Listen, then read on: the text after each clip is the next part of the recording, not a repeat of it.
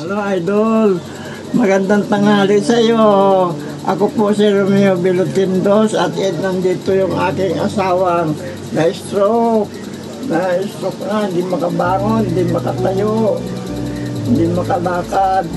Sana may ako ng konting tulong sa iyo na kung ano man ang iyong may tulong sa amin ay maraming maraming salamat.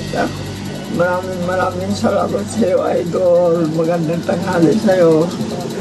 Magandang hapon po, Lolo. Sir. Magandang hapon po, Senator.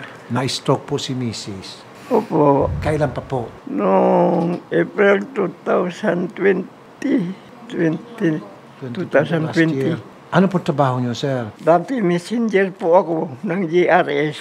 Ngayon po. Wala na po. Okay, so, Hindi, hindi nga ako hinulugan ng ano eh, is-is ng kumpanya na yun eh. Sampung taon ako doon.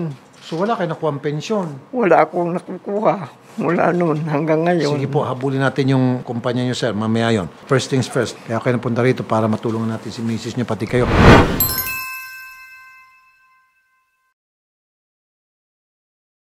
Anong kinabubuhay niyo po ngayon, sir? ano, tinutulungan din ako ng mga anak ko. Tapos, pumupunta din ako sa DSW minsan. Nakakahingi din ako doon pang financial. That's good. Kaso lang, minsanan lang yun kasi hindi naman pwede yung balik ako ng balik doon. Kailangan 3 months bago makabalik. Tama po. Hindi ko alam po kung ano yung mga programa available sa DSWD. Pero tama po yung ginawa niyo. Punta kayo sa DSWD. Ah, sila po ang ahensya ng gobyerno para tumutulong sa mga katulad po sa inyo. Now, ano po mga pangangailangan po ni Mrs. Maintenance, gamot? Maintenance po kasi kadalasan nawawalan ako ng pambiling mga kailangan niya pagkain, ulam, pampers, tapos bigas. May, minsan tinutulungan din ako ng mga anak kong pambiling bigas, ganun. Ano pong alam niyong hanap buhay, sir? Yung pangkabuhayan. Nang, Kasi ayoko naman po sir, alam mo, bigyan ko kayo, tapos maubos. Ma- Maganda kung bibigyan ko kayo na Kasi- para tumagal. Kasi yung isang anak ko na lang ang tumutulong-tulong sa kaya nga akin. po, ano pa po yung gusto niyo pong pangnegosyo halimbawa, pangkabuhayan? Yung, kung ano yung medyo kaya ng bunso kong anak. Kasi Ano si- po halimbawa, sir, yung sa tingin nyo na pwede nyo Katulad ng mga karne na, balahan? mm, karne, o kaya bigas, ganun. O kaya, ng mga bigas, mm, tapos, bigasan. mm, bigasan, tapos mga karne o manok. na Ang yun. naikwento niya po kanina sa staff natin, Idol Rafi, ang gusto po ni sana ni tatay, eh kung kaya po yung mga ah, meat na po na ah, manok or baboy. Opo. Meat na po mismo, Idol Rafi, pero hindi po yung ah, alaga, no? Mm, yung meat, meat na po. yan. Yes, Idol Meat Rafi. na. Kahit Sa- na sa lang po. palengke kayo magtitinda. Karne, sa, sa Pasay siya nagtitinda.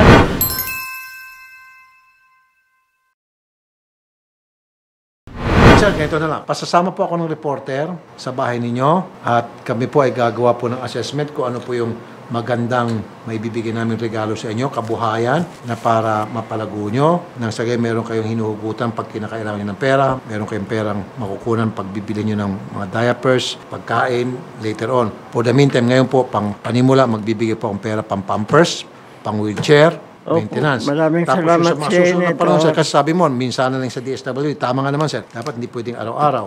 So this way, magbibigay ako ng para sa mga immediate needs nyo and then yung sa mga susunod, doon nyo po kukunin sa pangkabuhayan nyo. Salamat na po, isi-set up po namin yung mga tao ko po mag-set up. Salamat okay? po, Idol Rapi.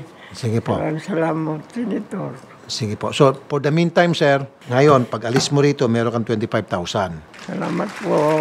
Maraming maraming salamat. Yung 25,000, yan na, pambili mo ng bigas, pasalubong, si misis, sa mga anak mo.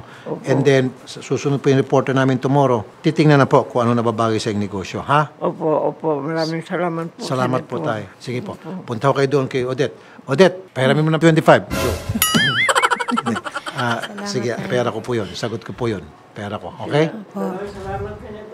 Walang, walang ano man po Opo. tayo. Ingat po tayo. Kaya kanina po yung mga staff din po kanina na iyak po habang ini-interview po si tatay. Re-elect Joy Belmonte sa t-shirt niya. Opo. Ah, sa likod. Okay. Opo. Na-re-elect na po si Joy Belmonte.